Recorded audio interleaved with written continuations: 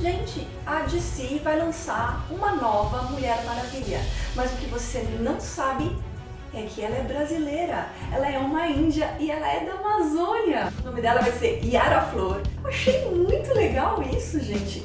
É, o que eu penso é que a gente vai poder ver retratado nos HQs um pouco do Brasil. Eu acho, acho muito legal, acho muito bacana.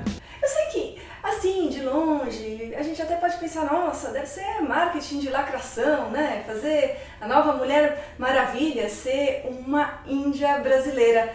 Só que não. Vou contar uma história que eu li na revista super interessante que eu amo. Eu cresci lendo a revista super interessante. Obrigada, mãe, por ter assinado ela pra mim. Aliás, aproveita e assina aqui o canal, se inscreve no canal, aciona o sininho de notificações, dá aquele like amigo. Mas voltando à matéria da super interessante, que é importante você saber que essa matéria ela foi escrita em 2006, ela não foi escrita para o lançamento da nova Mulher Maravilha da DC, tá certo? Acontece que faz todo sentido a Mulher Maravilha vir da Amazônia. Faz todo sentido este personagem.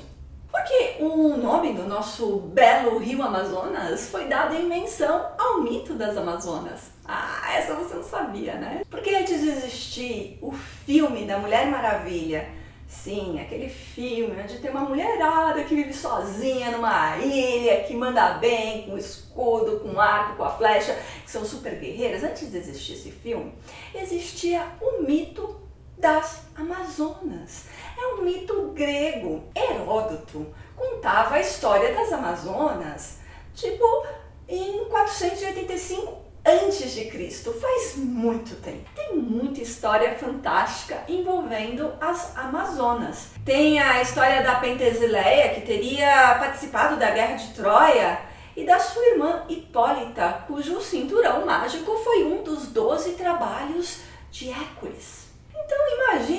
Situação. Imagina que por volta de 1542 veio uma expedição da época do descobrimento para o Brasil, numa época onde o Amazonas ainda não se chamava Amazonas, tá certo? Então tá lá os europeus que conheciam muito a mitologia grega, chegam numa floresta inóspita, a Amazônia, que ainda não chamava Amazônia. Chega nessa floresta e se depara com uma tribo de mulheres índias, sim, somente índias caçando, atirando com arco e flecha.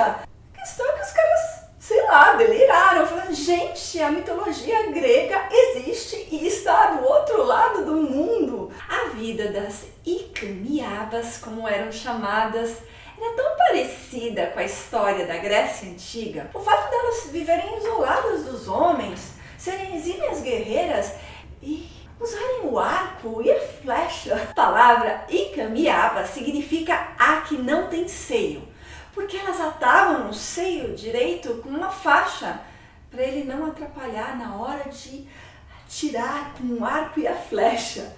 Caraca, isso é que é levar a guerra a sério, né? Faz todo sentido da Mulher Maravilha ser da Amazônia. Que venha a Yara Flor a nova Mulher Maravilha da Amazônia e que represente os povos originários do Brasil, represente o Brasil em si, vai ser bacana, vai ser legal. Se você gostou, dá aquele like, amigo, se inscreve no canal, aciona o sininho de notificações,